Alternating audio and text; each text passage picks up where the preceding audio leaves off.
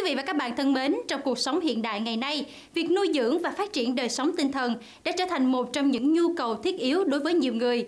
Và với những cá nhân đang có mong muốn cảm nhận được chiều hướng tinh thần của bản thể, góp phần tạo ra những kết nối với năng lượng xung quanh và phát triển các mối quan hệ, thì đừng bỏ qua quyển sách Trí huệ, những hiểu biết thay đổi cuộc đời của tác giả Oprah Winfrey nhé.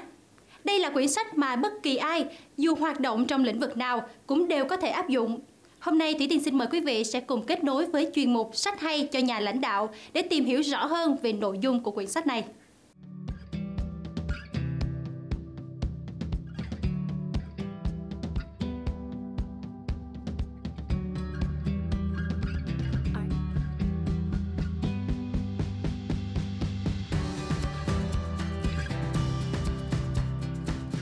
Xin được chào mừng tất cả quý vị đang đến với chuyên mục sách hay cho nhà lãnh đạo trong chương trình Câu chuyện kinh doanh.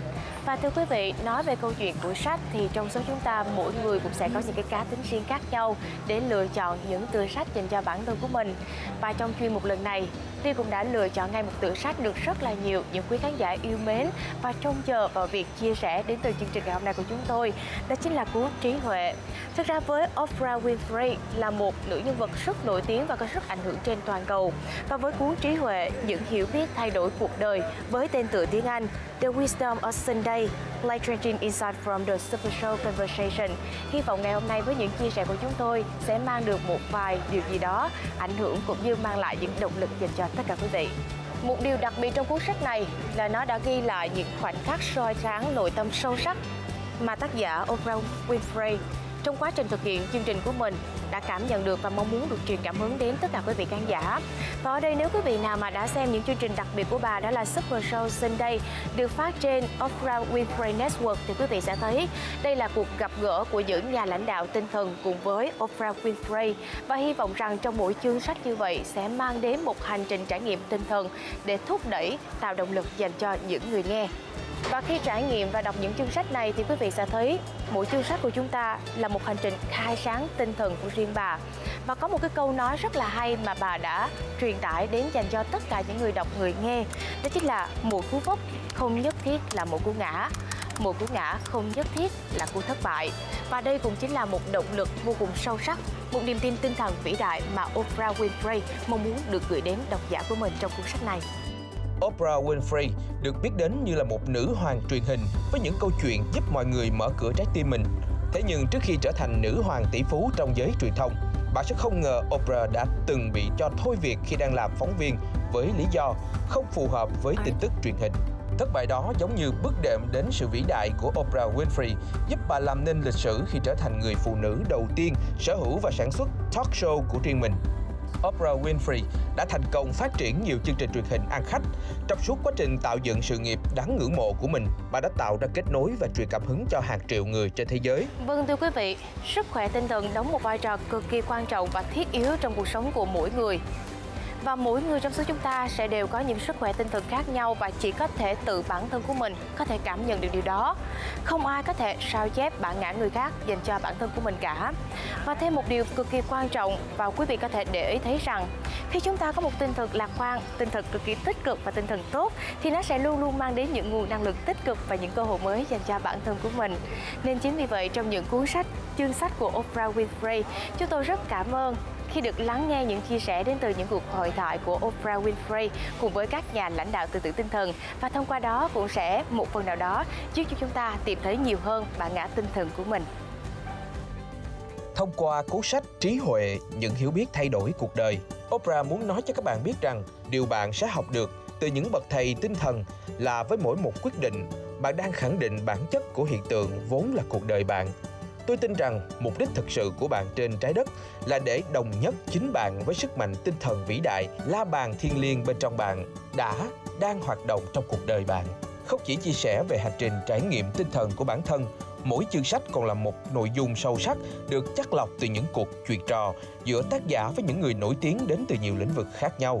Những nội dung đưa vào sách đều là kiến thức hay, thay đổi cuộc đời, khoảnh khắc giúp soi sáng tâm hồn, Cuốn sách sẽ mang đến cho bạn cái nhìn khác về bản ngã, về lòng tin, về chánh niệm ẩn sau tâm thức của mỗi người. Oprah đã nhấn mạnh rằng Tôi tin rằng một phần trong lẽ sống của mình trên trái đất là giúp mọi người kết nối với những ý tưởng mở rộng tầm nhìn của họ về việc họ thật sự là ai và tất cả những điều họ có thể trở thành.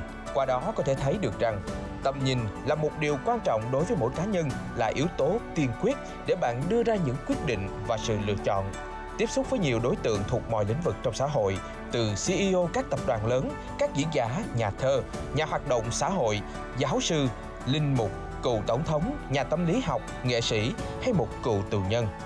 Bất kể là ai, đều cho chúng ta thấy được góc nhìn của họ đối với thế giới. Khi đó, chúng ta cũng sẽ nhìn nhận các vấn đề ở những góc nhìn đa dạng hơn.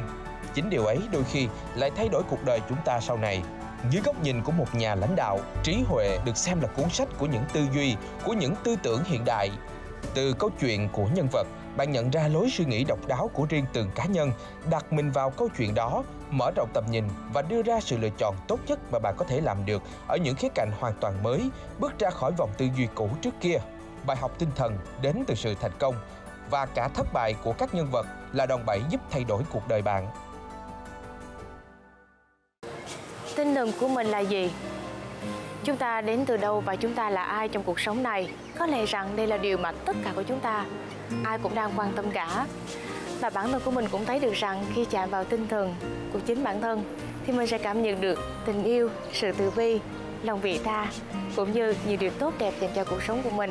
Và dường như cảm nhận và có được cuộc sống tinh thần tốt đẹp sẽ là một cánh cửa vô cùng tuyệt vời để giúp chúng ta chạm gần hơn nữa với bản ngã với chính điều chân thật nhất và sẽ giúp cho cuộc sống của chúng ta trở nên tươi đẹp hơn.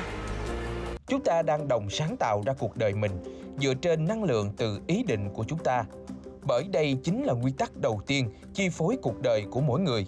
Suy nghĩ này tiếp suy nghĩ kia, lựa chọn này nối lựa chọn khác hãy luôn nhớ rằng, không có một trải nghiệm nào dù ta khóc đến mức nào, dù có vẻ khủng khiếp đến mức nào là lãng phí cả. Tất cả mọi thứ đang xảy ra với bạn được thu hút vào cuộc sống của bạn như một phương tiện giúp bạn phát triển thành điều thật sự có ý nghĩa ở nơi này trên trái đất. Đó là gì? Không quan trọng, mà nó mở ra điều gì bên trong bạn mới quan trọng. Năm nguyên tắc sau đây sẽ giúp các bạn có trải nghiệm tinh thần thật hiệu quả. Tầm nhìn của bạn là dành cho bạn cho phép bản thân bạn tự do thể hiện thay vì đi theo cách thức bạn nghĩ mình cần thể hiện. Thay đổi và mời gọi những gì bạn muốn vào cuộc đời mình với nguyên tắc, tôi đang. Ví dụ, thay vì nói, tôi đang kiệt sức, hãy bắt đầu nói, tôi đang được tiếp sức. Hãy chú ý đến cảm giác trong cơ thể, giải phóng bản thân khỏi sự tức giận đang cản trở sự phát triển của bạn.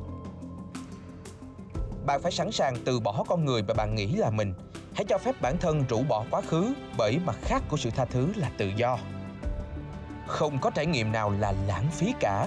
Tất cả đều sẽ trở thành phương tiện giúp bạn phát triển và mở ra những cách cửa khác cho bạn. Một tinh thần lạc quan và mạnh mẽ sẽ song hành cùng bạn trên khắp hành trình chinh phục những điều mới mẻ. Khi bạn sống chậm lại, hiện diện và lắng nghe nhiều hơn. Bạn không chỉ tạo ra sự công nhận dành cho đối phương, mà còn giải phóng sự suy nghĩ tiêu cực góp phần tạo ra bài thực hành tinh thần cho chính mình. Giữ gìn và phát huy giá trị tinh thần là yếu tố quan trọng giúp tạo dựng hình ảnh tốt đẹp để tiến xa hơn trên con đường sự nghiệp. Đặc biệt, duy trì tinh thần tốt sẽ tác động đến trạng thái hạnh phúc, sự tự tin, lòng tự trọng, sự hài lòng. Một hệ tư tưởng tích cực giúp hình thành các quan hệ tích cực, phát huy tiềm năng và giúp mỗi người sẵn sàng đương đầu với thử thách cuộc sống chắc chắn sẽ trở nên tốt đẹp hơn nếu bạn biết cách cải thiện sức khỏe tinh thần của chính mình. Và hy vọng rằng với cuốn sách ngày hôm nay của chúng tôi, Trí Huệ, những hiểu biết thay đổi cuộc đời sẽ giúp quý vị mở ra hành trình nuôi dưỡng nội tâm, mang lại cuộc sống phong phú, hạnh phúc. Và nói đến đây thì thời lượng của chương trình của chúng tôi cũng xin được phép khép lại. Rất cảm ơn quý vị cũng đã quan tâm theo dõi chương trình ngày hôm nay. Xin chào tạm biệt và hẹn gặp lại quý vị trong những số phát sóng tiếp theo.